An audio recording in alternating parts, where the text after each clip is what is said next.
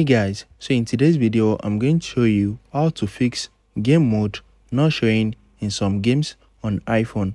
So right now with the new update of ios 18 they have introduced a new feature which is game mode. So this allows your iphone to pause all the background activity on your phone to enhance the performance of your game. So if you open some game on your iphone and the game mode option is not showing let me show you how to fix it so let me open roblox and as you can see game mode did not show. So the game mode is still going to enable but it is not showing. I think this is a bug because we are still using the developer beta of ios 18 so in order for you to check game mode just scroll down to your control center and click on this option at the top right here.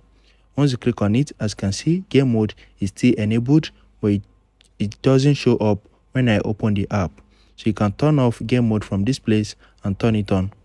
So just check that place.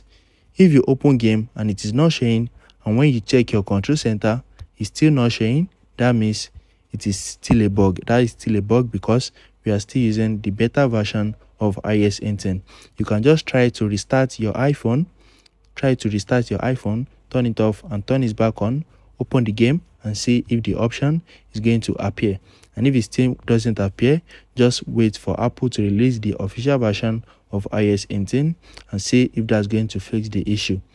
And there's no option to enable or disable game mode in your settings right now currently. But maybe very soon they are going to add it. If you found this video helpful smash the like button and subscribe to my channel for more amazing videos like this. Thanks for watching